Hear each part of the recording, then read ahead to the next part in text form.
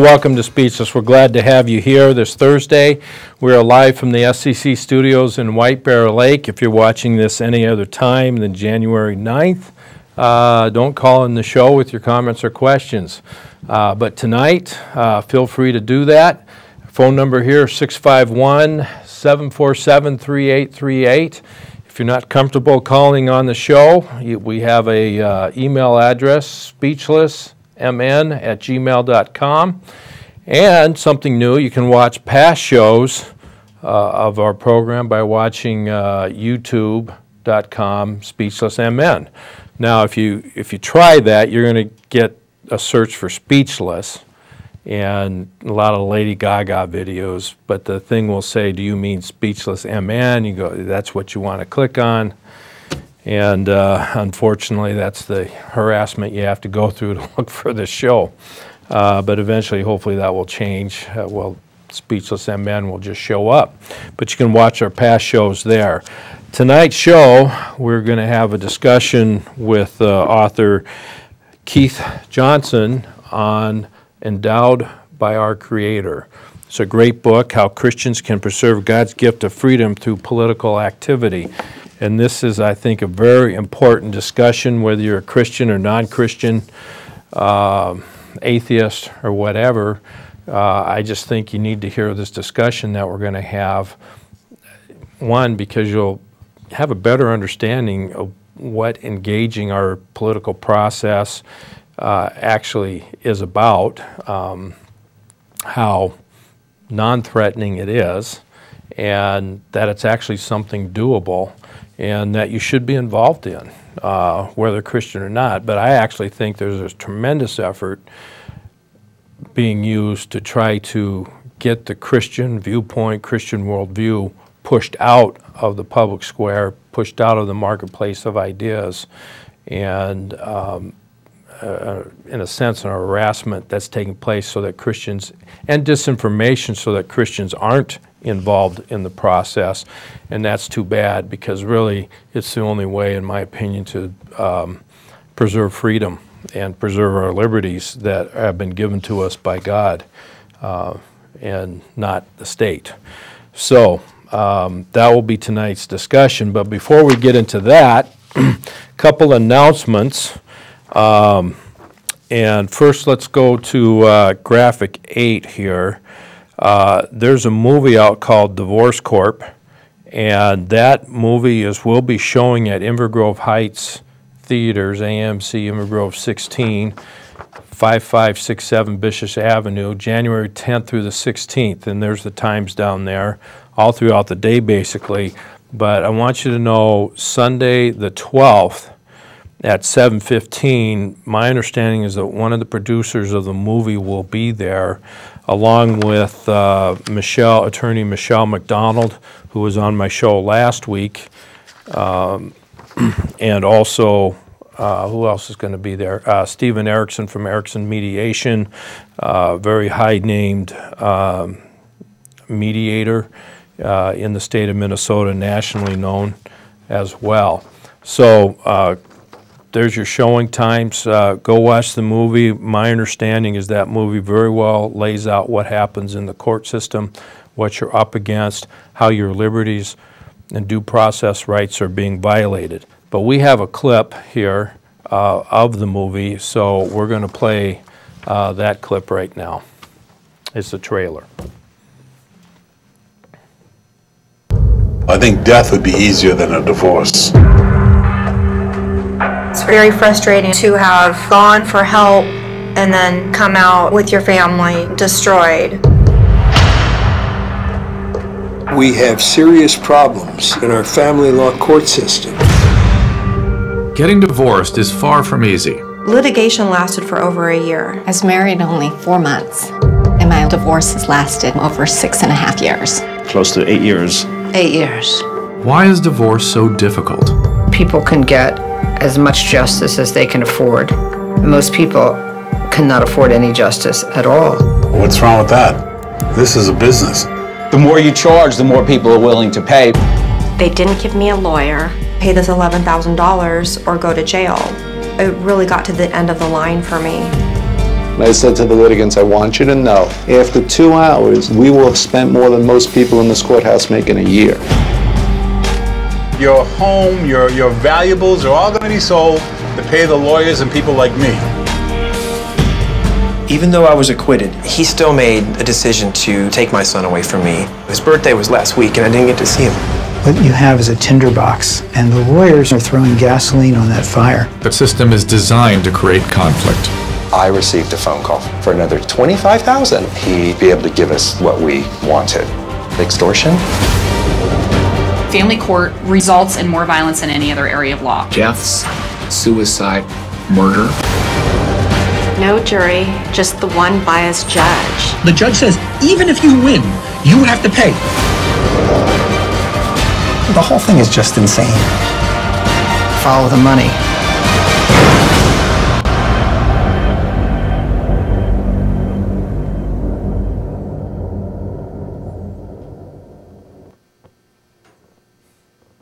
Well, I think it will be a fascinating movie to watch, and uh, hopefully it will give out more information than is usually out there in the press and, and media as to what is actually going on in our courtrooms.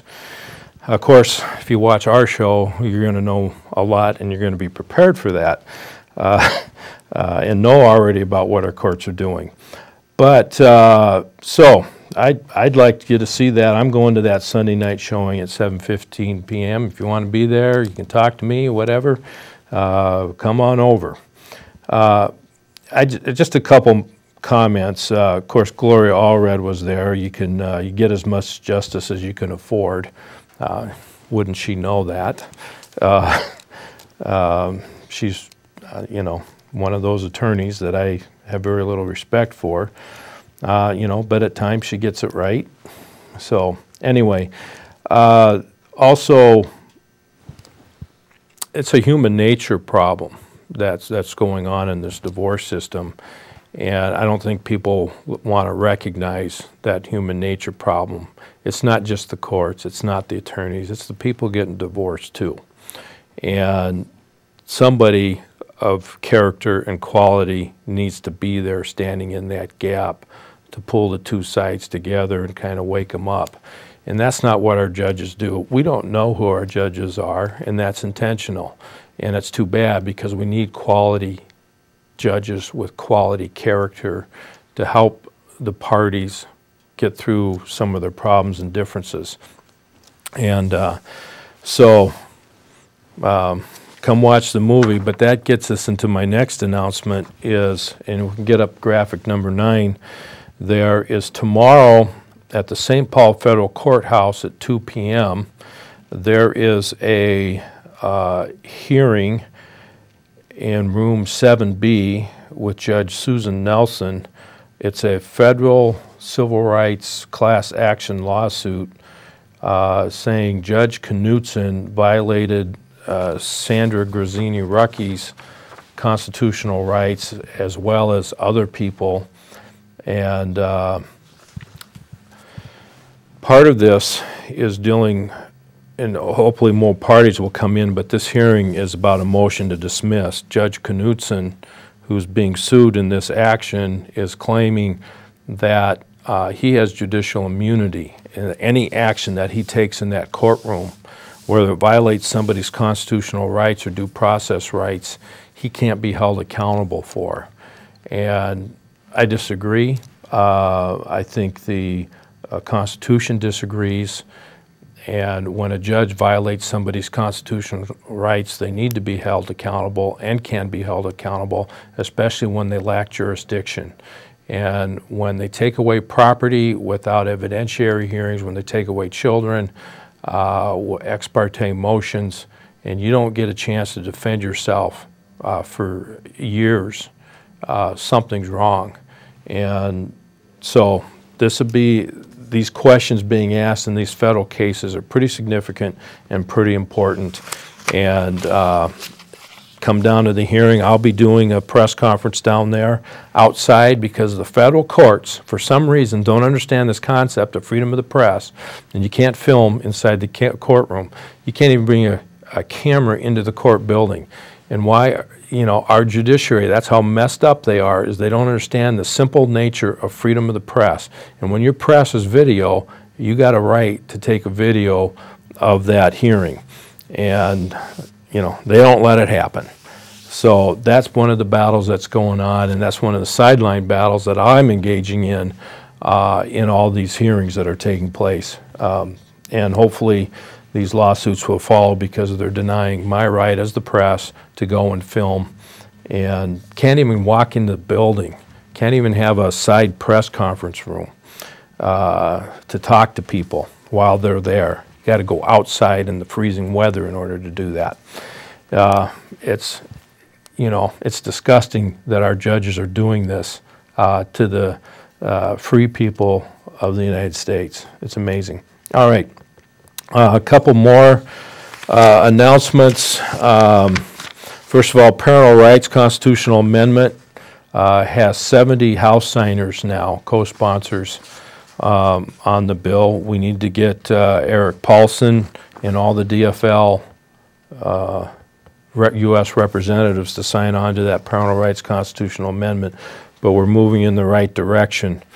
Um, another bit of information here is that the School Board Association, the Minnesota School Board Association, has gone, and what I'm hearing has gone on the record opposing schools being built on dump sites. That's amazing to me. Schools, they, they don't mind that schools are being built on dump sites, and most of these dump sites, if not all of them, are toxic in some form or the other and have uh, gases and liquids that just seep through, like what's happening up in uh, Mahtomedi School District. But the Minnesota School Board Association is on record, my understanding, as opposing uh, the bill that would say schools cannot build on dump sites. Uh, it's amazing to me. It tells you that these school boards do not care about children. Okay, uh, they care about their money, their system, and what's happening there. Um, okay, um, now just uh, another bit of update here is dealing with uh, Maplewood had a swearing in ceremony. And I want you to run the, the, the tape of the officers, that first one there, but I don't need volume on it. Okay, but I just want to show you.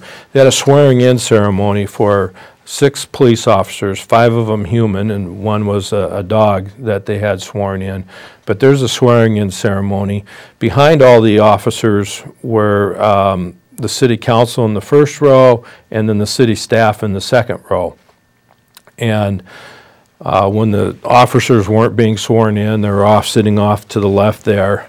Uh, but one of the things that happened there is when the school board, or when these um, city councils were being sworn in and being introduced, the staff members, these people getting over $100,000 a year for the city staff, started standing ovations. So they stood up and started clapping with standing ovations for these elected officials uh, that were also getting sworn in, the mayor and two city council members. And these police officers, in a sense, were forced to stand up and give standing ovations also. And, and the room, I don't know, I'd say there's about 100, 150 people in the room. Uh, most of them there to see their friends being uh, sworn in as police officers of Maplewood, but they had to get dragged into the political activity going on for the city council. And they, under the pressure to give standing ovations for these city council members, and that's just too bad. It shouldn't have happened. These should be separate events. They shouldn't have been tied together. And it, it's, to me, it's just disgusting that that had to happen. Um, but let's look then at something um, former Mayor Rossbach said when uh, Norris Slawik was being introduced and talking about the history of, of Maplewood. So let's hear what Mayor Rossbach has to say. That there uh, is a majority of women on the council. And I don't know, I guess I'm not that great a historian. Has there been a majority before? Yeah, but we won't, don't want to talk about it. no, okay, okay. Oh, yep.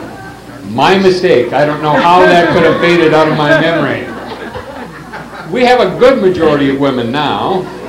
Uh, and, uh, and so anyway, uh, as you conduct business uh, at the Well, there you, there you see it again, uh, how they demean uh, certain women um, and say, yes, uh, well, Kathleen Juenemann, the re-elect city council member, said, yeah, we've had a majority of women before, but we don't want to talk about it.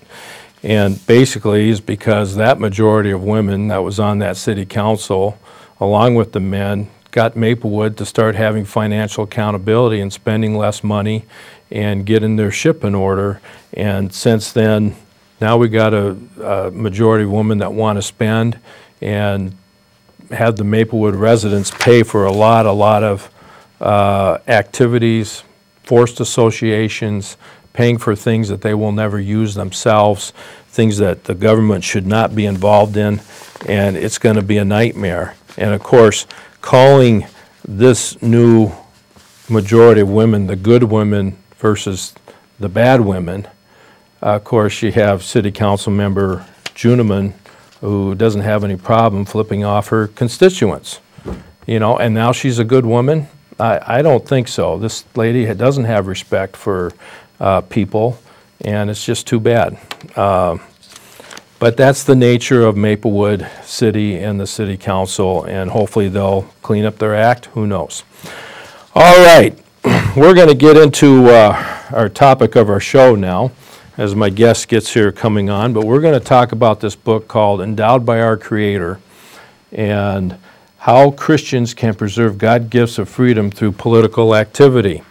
And I've been reading through most of the book, and I just loved it because it said a lot of things that I thought should be said, should be said, needed to be said, and um, now I don't have to write the book. So, uh, Keith Johnson, thanks for coming on the show. We're glad to have you here, and uh, uh, I think we're going to have a pretty good discussion going on here. But kind of, I want to know first why why would you write this book? What what got you going? Well, I've been a political activist involved in politics um, basically all my adult life. I I've uh, been a student of politics. I've read uh, countless books, I mean, hundreds of books on politics, uh, thousands of articles, and I have a great concern about the direction our country is going, and I think um, Christians should also be concerned about that. So that's what prompted me to start writing the book, and and um, I'm glad I did. I think I, I, have had a few things to say that are important to say, and I hope people will will get a copy of the book and and uh, look at it.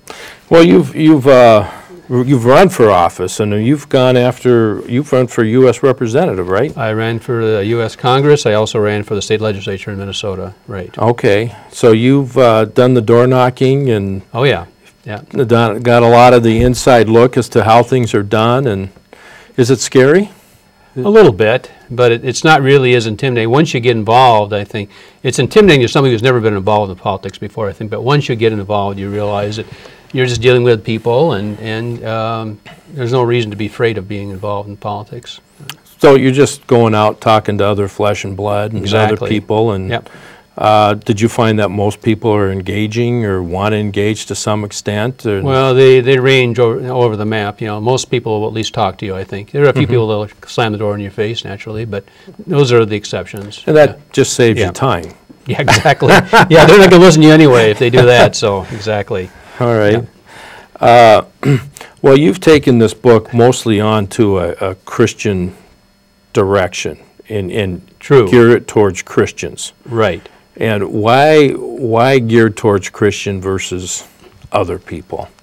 Well, I guess I was concerned because I go to a pretty good sized Christian church, and uh, there's a lot of people that were concerned about politics and shared a lot of my concerns. However, they didn't want to do anything about it. You know, they, they're basically happy just to talk about it, complain, but not really do anything. And okay. That's probably what prompted me more than anything to write. And then I think there were a few areas where I thought Christians were a little misguided and got off on some of the wrong directions. So, again, I wanted to, to speak to that.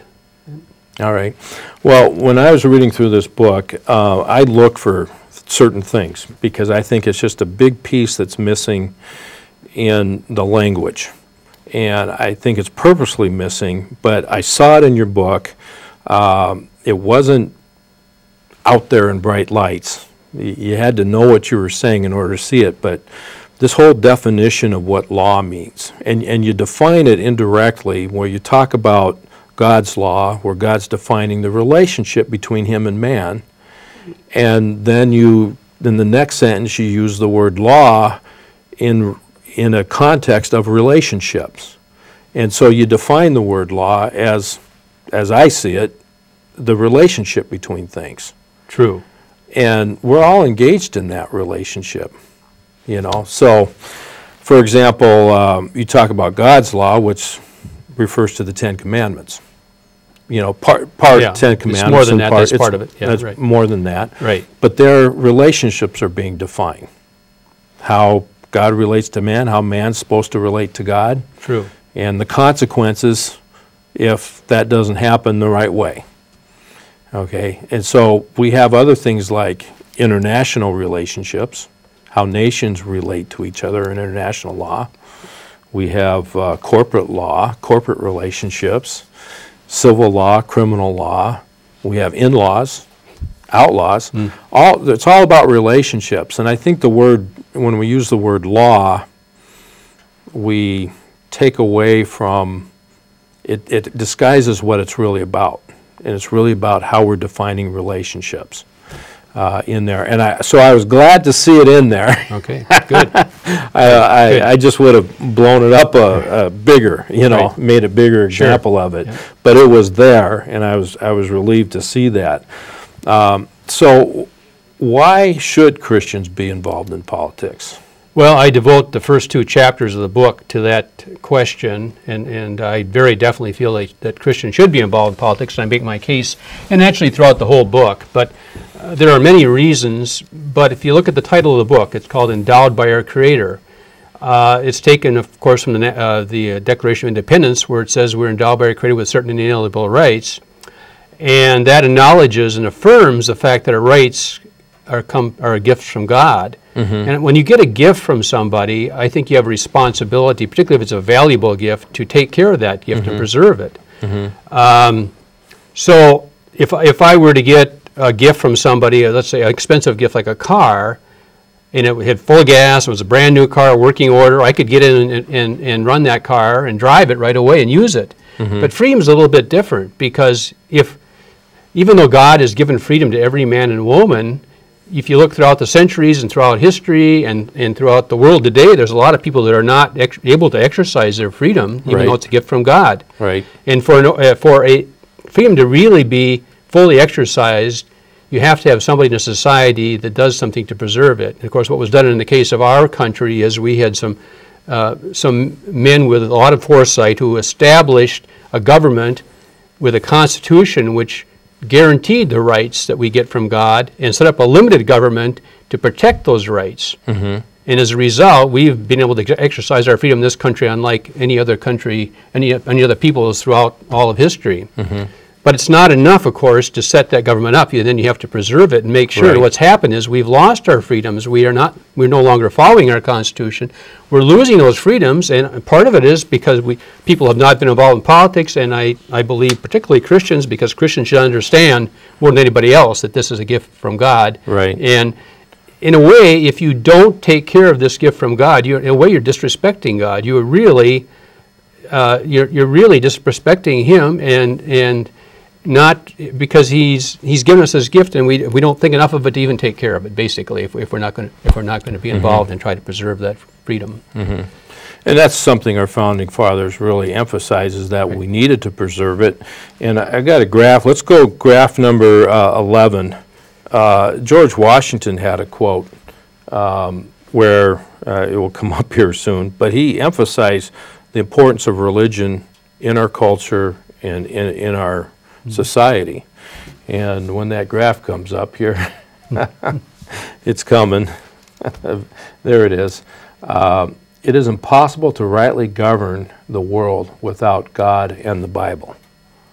It's, it's impossible to rightly govern. So you Very can true. govern the world, but doing it rightly, you need God and the Bible. That was Uh, Are you in that same frame? Yeah, there's, there's a lot of debate, well, you know, was the United States founded as a Christian nation, were we a Christian nation? To me, there, there's a, a more important question, and that is, were we, were we founded on Christian principles? And I think the one principle that we're founded on more than anything else is the fact that we're, that we're fallen. The, the Christian religion teaches Mhm. that we're, we're by nature sinful, we're, Right. we're imperfect people. And because of that, they set up a, a government with checks and balances to Mhm. Prevent government from taking too much power. Mhm. So, yeah, and that's that's following God's principles, I believe. And- Well, and- any one person or any branch of government taking too much power and uh, emphasizing that fallen nature, that, that man rebels against God. So the purpose of the checks and balances was to do good. Yes. Uh, Not to do evil. Right. But what happens when you got all three branches doing evil? well, again, I, I, I think that the three branches were supposed to have separate functions, and too often, like for instance, the, the president has taken on too many functions where, which are really lawmaking, and, and they, they Mhm. should have been left to the legislature, the Congress. But the other hand, Congress is somewhat responsible because they've allowed them to get by with that. They Right. haven't checked them. And of course, the courts, the same problem. The courts aren't supposed to legislate, but they have legislated. So, I mean, again, there's nothing wrong with the system the way it was set up. It's just we haven't been following it, Mhm. basically. Yeah. Well, I got another quote here, and then I'll be done with my quotes. Okay. because I, I just think it's just so important for the setup here. So let's go graphic number 10 uh, there uh, by Sir Edmund Burke. And he's, he's quoted a lot of times uh, by saying, when good men do nothing, uh, Right. evil triumphs or whatever. But here, um, here's what he really said. When bad men combine, the good must associate, else they will fall one by one, uh, unpitied sacrifice in a contemptible struggle. You know, and that's, and that's what I see Right. happening Yeah. quite a lot is, is uh, good people getting picked off one by one. And actually, the, the, the Christian community that's there is to protect liberties, uh, protect our, our rights, is really gets getting picked off one by one, and they don't organize. That's, And that's true of all Americans, but on the other hand, Christians, I think, bear more responsibility because Christians should understand more than anybody else that men are by nature uh, imperfect and that they're Mhm. going to combine, like Burke said, and try to work against freedom. And, and there's always enemies of freedom. There has been throughout history. And, and Christians are the ones who should understand that more than anyone else, and they should be in, in the, the vanguard of those who are opposing this people who are trying to take away our freedom. Mhm. Yeah. um, So, what, what, are there some other reasons for Christians to be active in uh, politics and and political activity? Yeah, you know, one of the th- one of the things that uh, God says in the Bible, of course, that we're supposed to do is the Great Commission. We're supposed to go out and, and make disciples all men and, and proselytize, win converts to Christianity. And of course, a lot of Christians will use this as an excuse for saying, well, we shouldn't be involved in politics because this is what we really should be doing. But it's not an either or situation because in order to be able to do that, to, to proselytize and evangelize, we have to have freedom to do that because if you look at countries like communist countries, Muslim countries, they're not able to do that because they don't have any freedom. So Mhm. if Christians are involved in politics to preserve freedom, they are helping to preserve the environment that will allow the Great Commission to go on. In a, in a way, it's a support function for, for the Great Commission, really.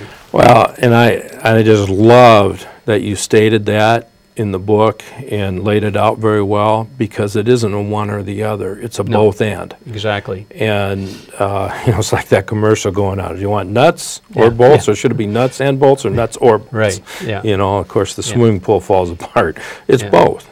And, and I just, I love that, and I think that's a point that needs to be emphasized, is you really can't do one without the other.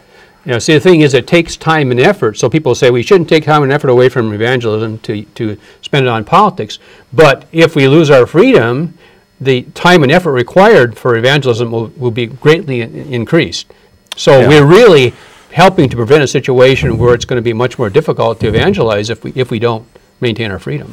Well, in this time and effort thing, I, I've figured out that it doesn't take that much time and effort. Um, I, over the two-year period of time, which is most of the, uh, le- most legislative schedules are basically around two years, that if a person spends 24 hours on eight days, uh, 24 hours over eight days, uh, basically about three hours on eight specific days a year, they will preserve their freedom and liberty. And maybe at the most, they'd have to say two sentences uh, or, or give a speech for a minute or less. You know, if they want to do more, they can do more, but at the most, maybe a minute or less, and then you preserve your freedoms.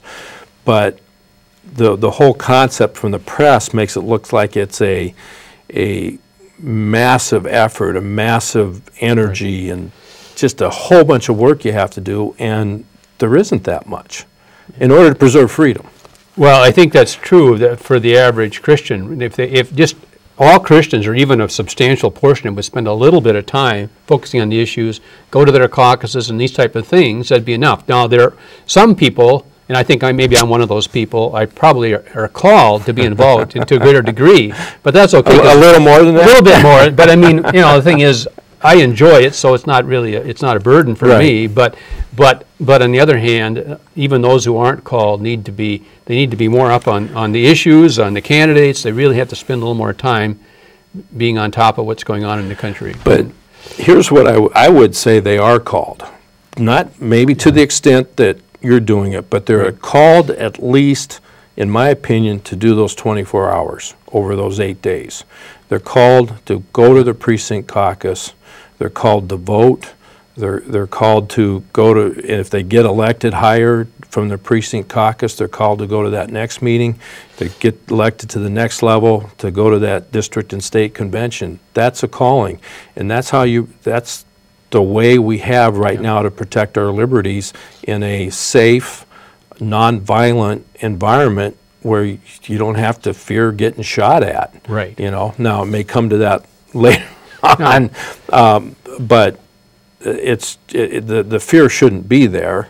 And, but I think that's, a- that's a calling that God gives to all men to preserve and protect their families. Yeah, and I agree with that. I, I think people think of calling as your lifetime avocation or vocation, but it isn't. A calling may be a very small part of your life, and Right. something something that God asks us to do a, a specific aspect. to do. Yeah, so, Right, yeah. And so I, I see that as a minimum, in, in a lot of places, uh, kind of put voting as, as the minimum. You gotta at least do that. Exactly. And I'm going, no, you gotta do more than that. Well, Um, if your vote isn't informed and you don't spend some time looking at what you're going to be voting for, then your vote probably isn't worth a lot. I mean, it's really important that you know what you're voting for, who you're voting for, and Well, isn't that the nature of, though, part of the process of the, and they use the word political, and I, I say everything's political, but isn't that part of the political process to get people not to vote? Isn't that what's happening to a lot of Christians? There's a lot of outside influence saying, yeah, don't really be involved, you shouldn't, your, your values, your opinions are worthless here, we don't want you to vote, and if you do organize as a church, uh, we're going to take away your tax status.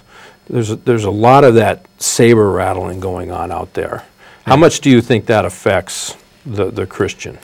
Well, yeah, it does affect them. Of course, the other thing is I think we, we're so busy in this in this country. People are involved in so many different things, and uh, and that's another thing that, that causes them to not be involved in politics. They just it, it's not a priority for them, and I think part of it is people don't get excited and, and concerned about something until their own ox is gored, so to speak.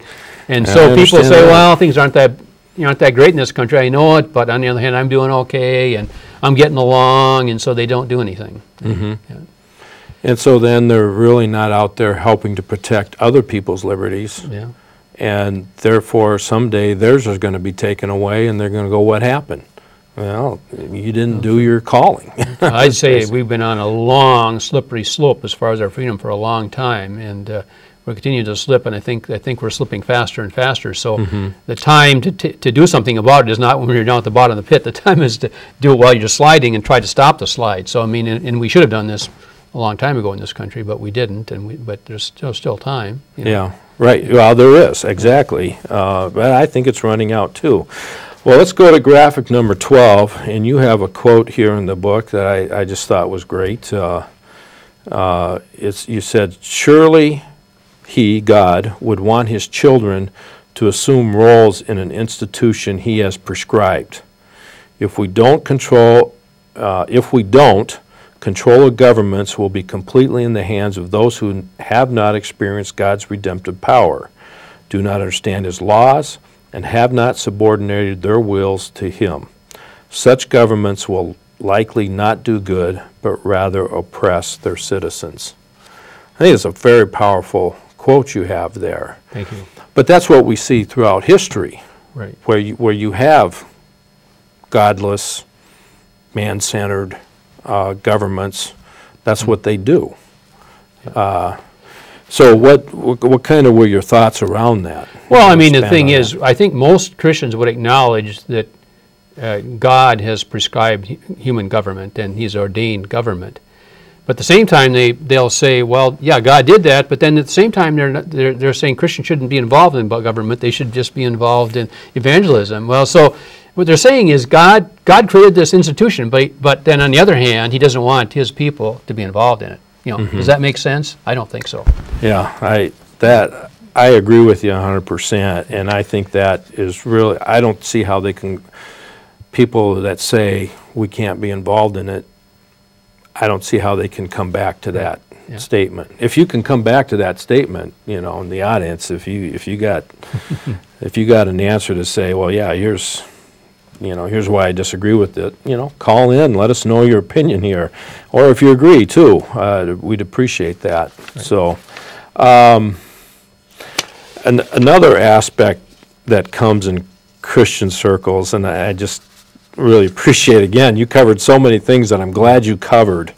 Um, you know, there's an eschatology, there's an end times Right. uh, point of view out there, and you briefly go over all of them. But one of the big issues is a lot of people think the Lord's coming back soon, that God's going to come back, He's going to take His own. And so, is there really any point in trying to restore our nation? And I, I thought you had a great answers, but what, what do you? Well, first off, of course, we do disagree on, as Christians, on eschatology, when, and when Mhm. God will be returning. I tend to be one of those who believe that it could be any time at this point in time. However, that, to me, does not absolve us of the responsibility to, to maintain what our country and our world while, while he, because it could be, we don't know for sure when it's going to happen. It could Uh-huh. be quite a long time yet. Mhm. So we're, we're to be faithful. If it's right for us to be involved in politics, then we should do it regardless of what may be happening, because we don't really know what that's going to happen or when it's going to happen. And also, it's a witness to be involved. If, if we adopt the attitude, and, and, and non-Christians see this, that, well, hey, this world's going to end, we're going to be leaving anyway, so there's no need for us to be involved, is that a good witness? I don't think so. Right. No. I mean, Well, then you don't care about your yeah, neighbor. Yeah, exactly. So you, we don't really care. We're leaving, so you guys just carry have on. fun. Have fun, yeah, right. Well, Yeah. and I've studied the Old Testament quite a bit and the New Testament. I, I mean, years of study on these things, and I actually see the very, you know, opposite of this mindset that says, "Hey, if God's leaving, or if God's coming, we're going to be gone." God has a lot of warnings about that, and actually, He raises up nations that are worse than the nations He's established for mm-hmm. freedom, like Israel. Right. And Israel's big complaint was, God, Right. why are you judging us with this nation that is far worse than us? Yeah. He says, because you've left me, you know, and so this mindset that I don't have to be concerned about these things when God says, be concerned, is then he brings judgment. And somebody worse will bring judgment on that person who's a follower of his. you And if we truly are in the end times, and I, and I think is a good case that we are, then we know some of the things are going to happen. There's this world order and all this. There's a lot of bad stuff, a lot of evil are going to be taking place in Mhm. the world. And I believe as Christians, we, it's our responsibility to oppose that, Mhm. even though it, you know, Right. it may temporarily triumph until God comes back and Jesus Christ comes back and, Mhm. and rescues us. But we should, we need, we need to be opposing that. I believe this, this evil in the world. Well, so you, you mentioned outcomes. Uh, it sounds to me like it just doesn't matter the outcome. Do what you've been called to do. Yeah, that's true. And, and don't be concerned, because if you believe in a sovereign God, Right. uh, who's ordained all things and has, has you, right. and you're his, what do you have to be concerned about? Do what he wants, and Yeah, exactly. whatever. But that's, that's the example all throughout the Bible uh, of Yeah. the people God calls out and says, that's, that's a righteous person. Those were people who didn't care the consequences. They did the right thing. It's our responsibility to do God's will as, as we see it, and it's His responsibility for what happens and the, and the outcome. And we're not, we're not responsible for that, but we are responsible for being faithful and for obeying Him. Yeah. Well, and that, that brings into uh, another question, an objection basically is that from Christian leaders is that really the only way to bring our government back is, to, is a revival. A revival rather than political involvement. Uh, that's the only thing that's going to turn our society back to righteousness. You know, revival, we all should be praying for that. We should be all be hoping for a revival. And a revival is going to change men's hearts. But a revival is, in, in and of itself, is not going to, say, take care of our national debt. You know, I mean, Oh, it it, doesn't, it doesn't, you know, sorry to tell you that. But, but I mean, the thing is that I think what a revival would do would, would have people with the right spirits and they'd be open to looking at correcting some of the problems that we have in our country and our world. Mhm. But it, in the revival itself is just going to cre- you know prepare the people. It's not going to take care of all the problems. It's not a magic pill that's going to take care of every every problem we have in this world. Yeah. Um, so what I hear you're also saying is revival, yes, but then you got to act. You have to, Right. not only what you say, but you have to act. You have to do something. Yeah, and just from from the just strictly uh, scriptural, spiritual aspects of a, a revival, you'd say yes, revival is going to change men's hearts, but you still want to have in place discipleship programs and everything so that those people will get into God's Word and read it. And so, I mean, it, you know, it, it's just you don't just say, well, we had a revival that took care of our problem. We're not going to try to do anything else spiritually or scripturally. I mean, it, But it, it produced a change in behavior, too. yeah, it does. It You does know, do that. They Right. stop beating your wife. Yeah, oh, of course, You, yeah. You stop Right. having sexual morality. Uh, you you change your behavior because you understand that the relationship that God calls for between you and Him Right. and you and other people, Right. and you you treat people as equals uh, on the same level, uh, not better, not worse, uh, but you treat them as human, and you don't lift yourself above anybody else. That's that's what a, a, a revival would do. Human nature is others. I'm the revival, but the revival is in the hearts it's and minds in the of- hearts, of, right? people. Yeah, and that changes their thinking. yeah, right, and, exactly. and, and what they're thinking. Uh, just uh, just a quick here uh, sideline before we get into some other quotes that you have. Where can people find your book, endowed by Okay. our creator? this- The book is available on Amazon, both the printed version and the Kindle version on Amazon. It's on born- barnesandnoble.com. And uh, also, it's available from the publisher, which is lifesentencepublishing.com. And for those of you who may get to Grace Church of Eden Prairie, it's available in their bookstore. Um, now you've you've said you've done a lot of reading uh, in your history, Right.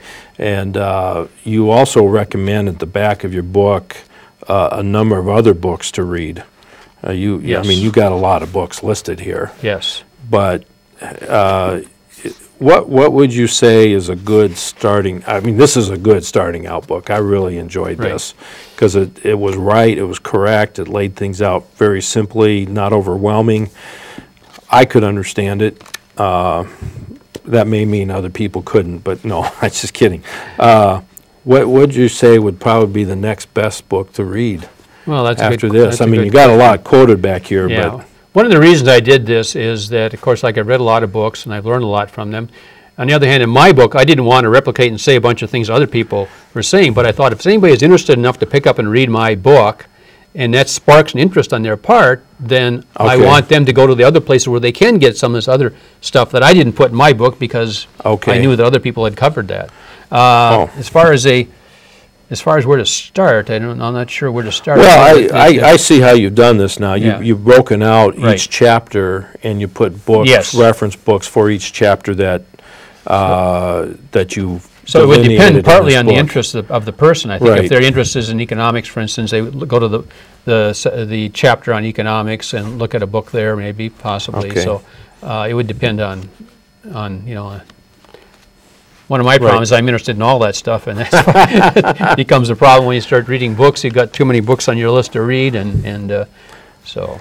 Yeah, but again, start with, start with this Yeah. book because it, it thorough, uh, but simple enough to, to understand and gives a good overview. Yeah, what I, wa- what I was really trying to do here was, uh, it's really about thinking like a Christian about politics, really. That's, that's really what it's Okay, kind of about, I have to say, yeah. Yeah, I, I think it's done well. Well, let's go to uh, uh, graphic number 13, and you have another quote uh, here. Uh, Stewardship, and this is out of chapter 2, stewardship involves making choices. It is only possible to the extent we maintain our ability to freely make decisions. All stewardship is dependent on preserving that capability. Since government is great, if not the greatest threat to that ability, Christians should be involved in politics to protect the continued use of our freedom to exercise stewardship in the obedience of God. Another, another fantastic quote. I, I, I think it just lays it out there very nicely that you have to be involved in order to be a steward. Yeah, you do, because if you can't, every decision that government makes for you is one less you can make yourself. And, you, and for instance, when it comes to like tax monies, every dollar that the government takes from you is one less dollar you have control over Mhm. to be a steward of, Uh-huh. really. And, and that's, that's just the financial aspects of it.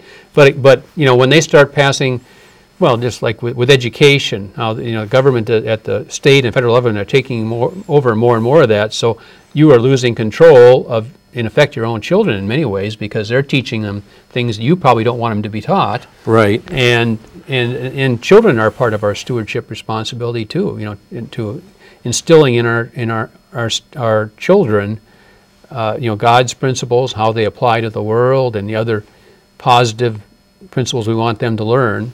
And that's a responsibility we have. I think that's a stewardship responsibility. Right. Um, Well, what's- the, the preservation of, of freedom itself is a stewardship. See, that's I make that point. I, I Mhm. devote a fair amount of time to that, saying just preserving freedom, because freedom is something given to us as a gift. So we have stewardship over freedom too. And if we're not involved in politics, we're not exercising the stewardship that preserves our freedom. Right. Well, and you have another quote in there in, and directly related to education, um, where it is, uh, uh, can't find it right now, I'm skimming over it real quick. Oh, but, but basically it- it's saying that the, um, if you have a, a teacher, um,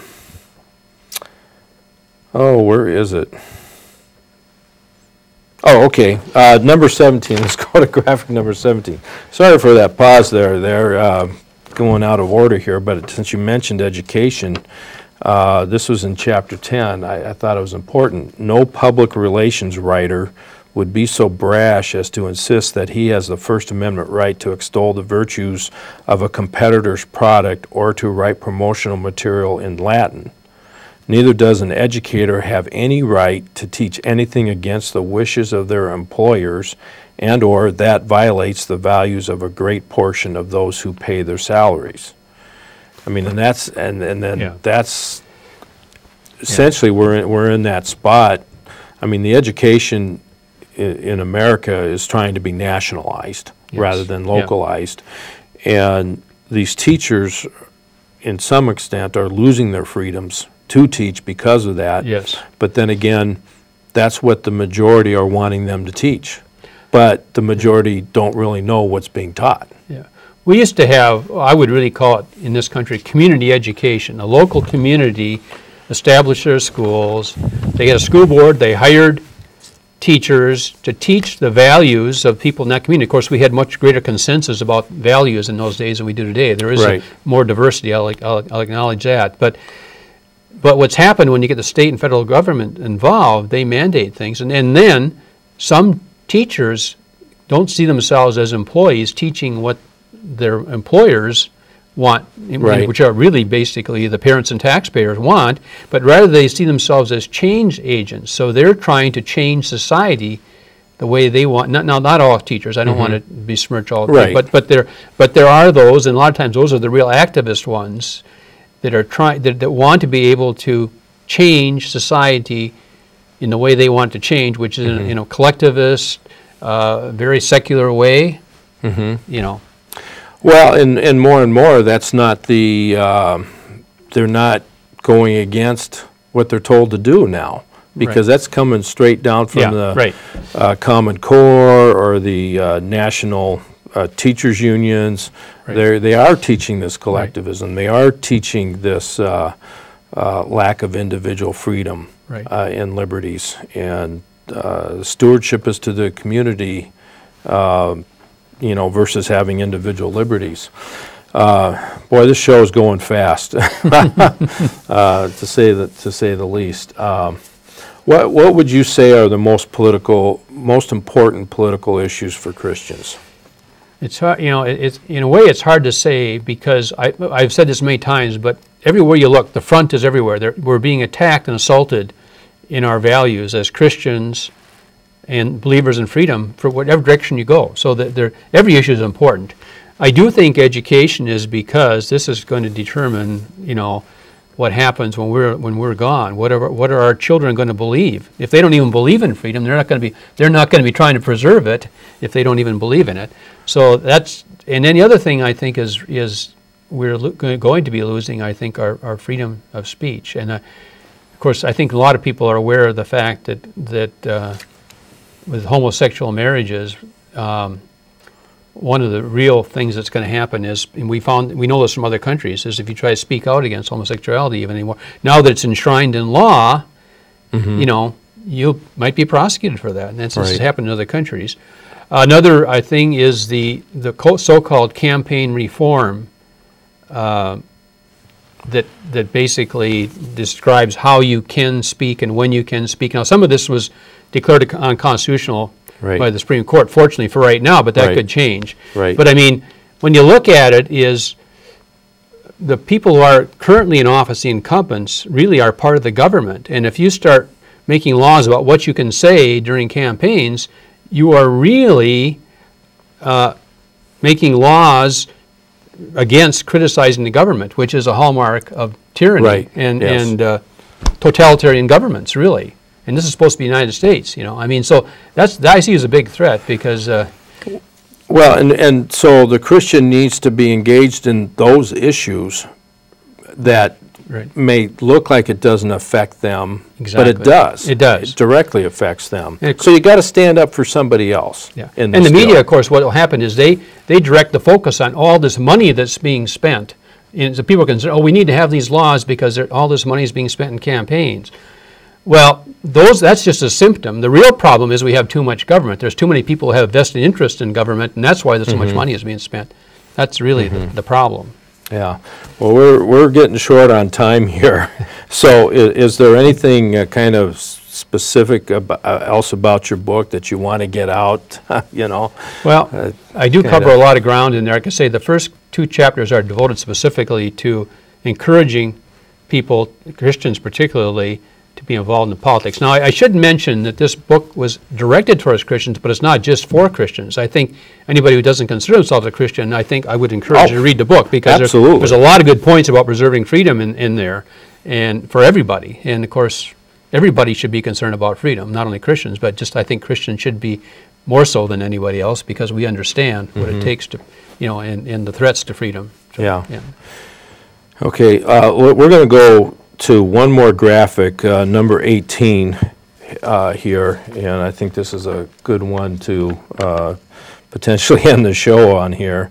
If there has been a case where the Constitution's meaning has been violated, it it is always appropriate to override it and return to the original understanding. To continue to build upon a bad precedent is akin to getting off on the wrong path and continuing on it rather than retracing one step to a corrective one. Uh, That's in chapter 14 of your book. Uh, But that's, I mean, it's, a- it's a great statement, needs to be done. If, if our Supreme Court has done something wrong, or if our laws of our land have gone down the wrong path, they need to be corrected.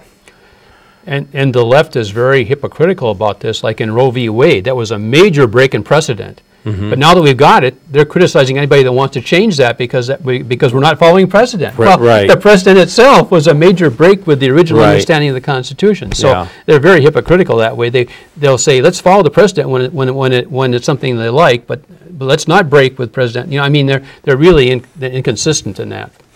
Well, and, and I would say to that too, when you do things like Roe v. Wade and uh, fake marriage, as I call it, or ho- uh, homosexual marriage, um, that is a sign that God is judging you as a nation, as a people group, and, and you've already been judged. You've already been Right. given over.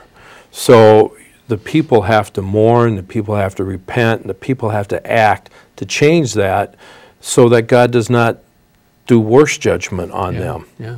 Uh, and so that's the importance of overriding, correcting, engaging, i- is to stop the wrath of God from coming against you. Hey, I can't disagree And- with that. Well, Keith Johnson, thank you for coming, endowed by our Creator. Great read, really enjoyed it. Um, Thanks for coming, and uh, I I Thank you. appreciate your time. Thank you. And remember, people, if you don't stand up for other people's liberties, who's going to stand up for yours?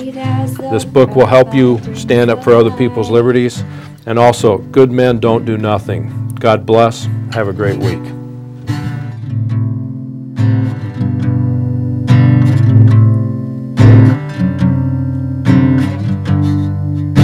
You said to me that you wouldn't leave, but now I see that you're long